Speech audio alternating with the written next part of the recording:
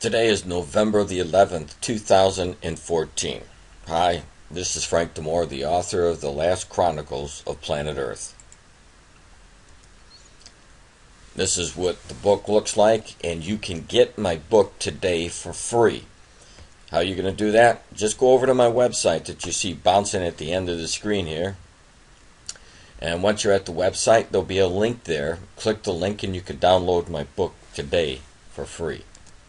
Now, one of the things that I wanted to share with you because it just popped up in the news uh, two days ago, that, and I didn't relate this to you, and it is very, very important, is information about Iran.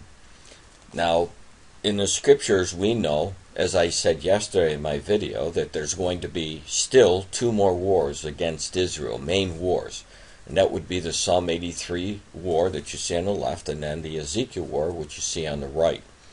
Now, when you look at the Psalm 83 and the Ezekiel 38 war, you'll see the nations that are listed who are going to come against Israel to try and annihilate the nation of Israel.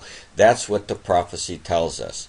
That's what the outcome will not reflect, but that's what these nations who are listed are going to try to do. And of course, we hear the verbiage of that today coming from the very people that God said they would be saying these things. So, both what happens to the Psalm 83 war and the Ezekiel war, they're intermingled. And let me give you one examples of it. Right now, as you see from the left hand side, the Psalm 83 war, when you come down, you'll see the Palestinians. And of course, in the Old Testament, they were called the Phoenicians or the Philistines.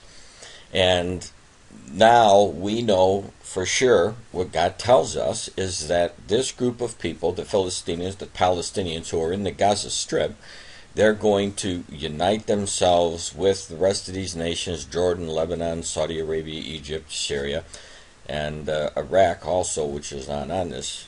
But they are going to be coming against the nation of Israel.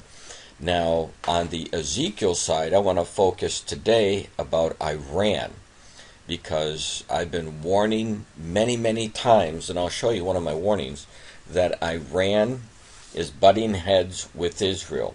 And there's no doubt there's going to be a major confrontation between Israel and Iran. And it looks like that confrontation is heading very, very close because of the, the new uh, outcome that we just saw that there really is no outcome. And what I mean by that Israel has said over and over again that they would have to attack Iran if Iran didn't stop their nuclear program, of which Iran wants to develop a nuclear bomb to use against the Israelis. And for years, ever since Barack Obama was placed in office, I've been warning nothing is going to come of this. There was not going to be any stop by the Iranians.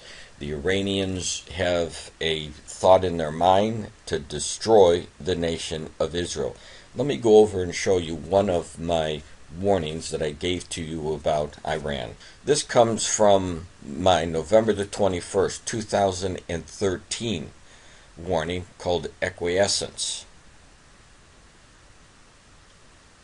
And when you scroll down and you start at the 11.9 mark in this video, you'll hear what I said back in 2013 about Iran. To fulfill Bible prophecy. And Satan wants Israel to be destroyed so that the prophecies cannot be completed. So, knowing this information, let's go back and take a look at some of the things that I've been telling you about. Now, I've been warning you to watch these things because Israel is going to have to attack Iran to stop their nuclear facility because they're going to be on their own to do it. You can't rely on the United States or anybody else. Here's some of the warnings that I posted in the past. Let me go over to a couple of them. Now, here's one from January, the 29th of 2009. I'm going to just scroll down to You'll see it right here in the covered in the blue. Here are the facts. Israel is running out of time to deal with Iran's surge in obtaining a nuclear bomb. And for the past two years, the Israeli officials have warned that they will take out Iran's nuclear site if the UN cannot get them to halt their production. At the same time, Israel is warning Iran. Iran comes back and says, We will never stop the nuclear program. Let me add these facts. If you are new to my site, you may not know this, and you should. Israel warned Iraq and Syria about their nuclear ambitions just the way they are now warning Iran. And Israel bombed both Iraq and Syria's nuclear site and put an end to their quest for obtaining a nuclear bomb. What would make you think Israel won't carry out their word that they will destroy Iran's site? Now, that was just one of my warnings. And I can't put them all up here for you, but you're going to have the link there and you could read the whole article if you want. Now, in that article, I even gave you a, a YouTube video to just to show you what I was saying was the truth. That the Iranians said that they're not going to stop, and it's carried on ever since 2009. So let me show you one of those videos. Iran's Foreign Minister Manouchehr Mottaki says Tehran will never halt uranium enrichment, even if the West guarantees its need for nuclear fuel.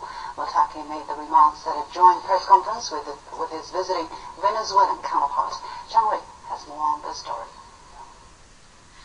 Speaking after talks with Venezuelan Foreign Minister Nicolas Maduro, Mottaki confirmed Iran's intentions to continue its nuclear activities despite international objections.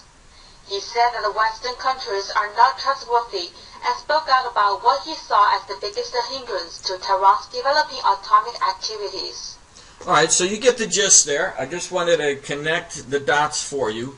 All right, so just like I did back in 2013, I'm going to stop this video and come up to the more current news because another year has passed.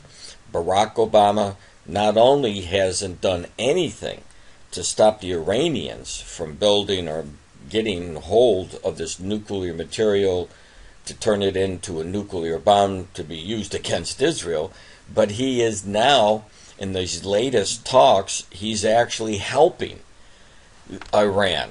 He's not slowing them down. He wants to make a deal, which I gave to you a couple of days ago in the video. So you can go to my website, just scroll down to the different dates, and you'll see that video that I placed up there.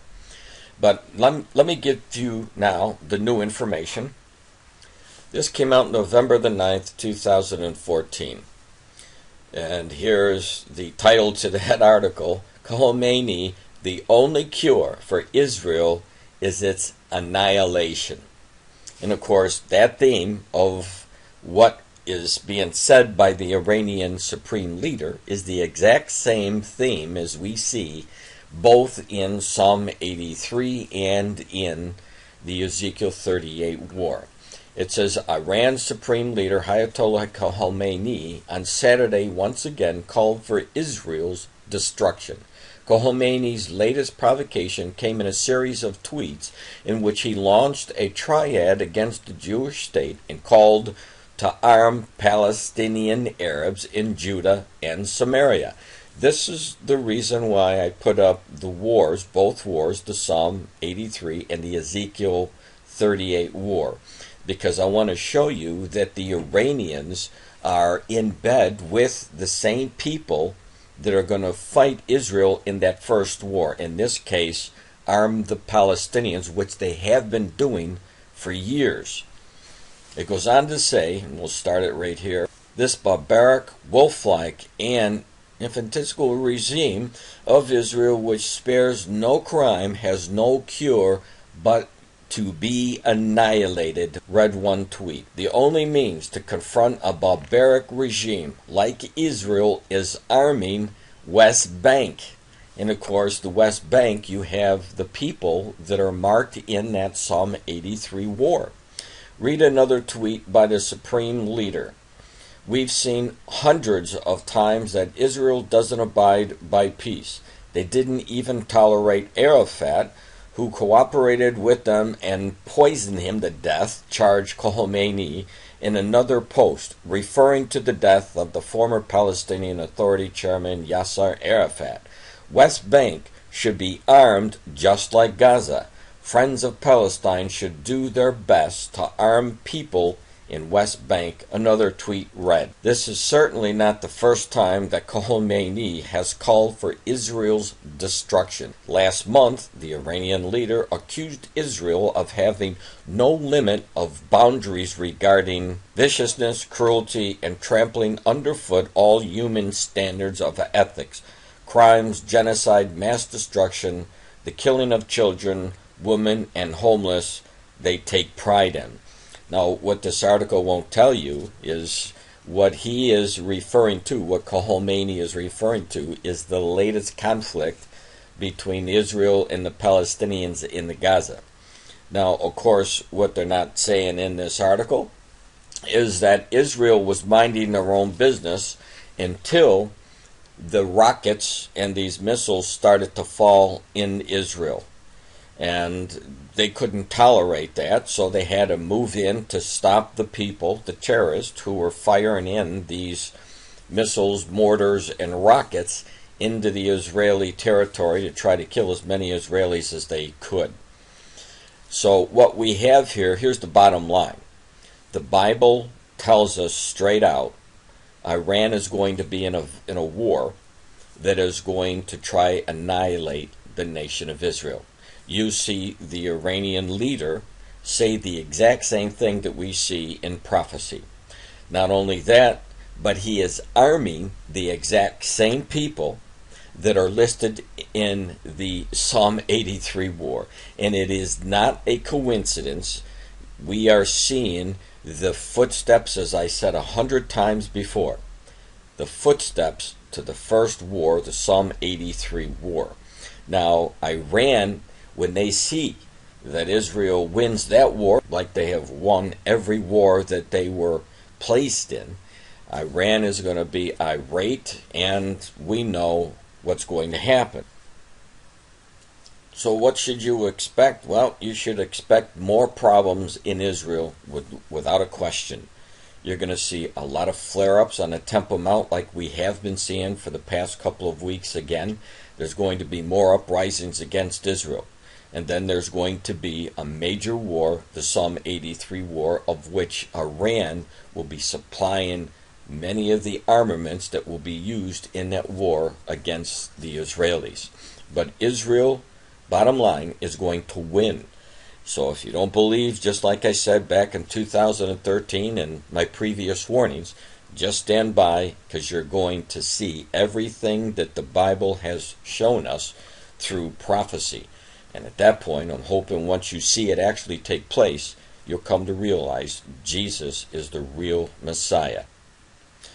Now, about the United States, or anybody else for that matter, stopping Iran's nuclear quest, just like I've been warning, nothing has happened. This article came out 20 hours ago, which would have been the 10th of November 2014. Iran and the West end round of nuclear talks outcome unclear. It says Iran and the United States and the European Union ended two days of high level talks on Iran's nuclear program on Monday with no immediate sign they had bridged gaps ahead of November the 24th deadline of an agreement. A senior Iranian official told Reuters that minimal progress was made in the talks in Oman. After hours of talks, we could make little progress, the official said. Still, differences remain, and still we have gaps over issues. And again, let me warn you once again nothing is going to come of it. The Iranians are not going to stop their quest to get a hold of this nuclear capability to try to destroy the nation of Israel. And I say try because it's never going to happen. Iran is not going to destroy Israel. We know that from the outcome from Ezekiel chapter 38. Now, here's a question to pose because Israel's been waiting for years to see what was going to happen. They've given the United States, they've given the European Union time to stop the Iranians from making progress of getting hold of a bomb, and nothing has happened. So here comes the deadline, November the 24th. What will Israel do? Well, we know for sure that Israel's been gearing up. They've been practicing for assaults against the Iranian nuclear facilities. And I firmly believe that the past history of Israel and what they have done to Iraq and Syria will be again carried out on Iran because Israel knows Iran is just like Hitler, their leader, and he wants to destroy the entire nation of Israel. And obviously, Prime Minister Benjamin Netanyahu cannot let that happen. So it's going to be very interesting to see what happens in the very near future.